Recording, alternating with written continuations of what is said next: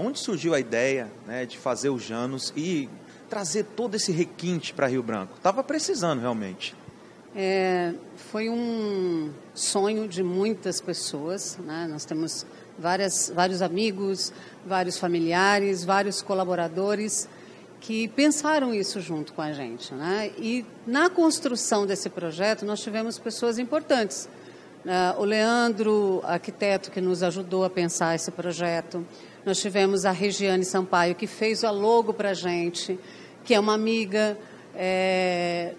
Muitas coisas que você vê aqui foram presentes de amigos. Né? Então, foi um sonho coletivo. Mas para fazer ele se tornar realidade, a gente estudou muito também. Né? A Isa, que é a nossa chefe, estudou, foi em São Paulo, fez todo um, um trabalho de técnica, de conhecimento e pensando que nós que somos usuários também e clientes de boa comida, nós queríamos uma, uma, uma estrutura assim, né?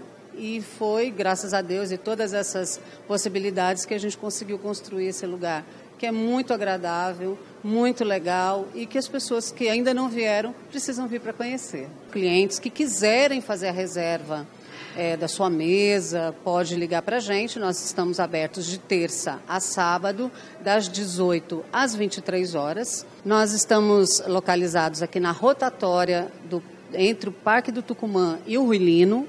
Tá? É um prédio de dois andares, marrom, todo mundo vai achar.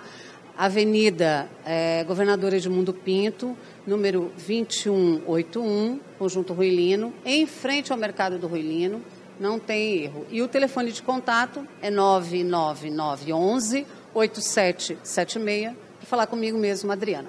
O bom risoto é, típico italiano tem que ser feito com um bom arroz, um arroz de qualidade e um arroz italiano.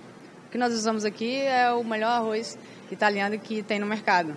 Então, nós usamos o arroz tipo Carnaroli, que é bem diferente do arbóreo, que habitualmente o acriano utiliza, e que ele tem um pouco mais de amido e dá um pouco mais de cremosidade para o risoto. E o nosso diferencial também é o queijo, que nós usamos um queijo tipo grana, que é um queijo duro, muito saboroso e que, a, que dá, faz todo um diferencial aí no risoto. Olha, está chegando aqui a minha sobremesa surpresa. E eu tô ali identificando alguma coisa que eu já comia mesmo quando eu era menino. Bota aqui, vamos ver. Hum, tá parecendo sagu, é isso? Sagu. Salgão ao vinho com creme patisserie. É um creme de com leite, com baunilha, com, com ovos.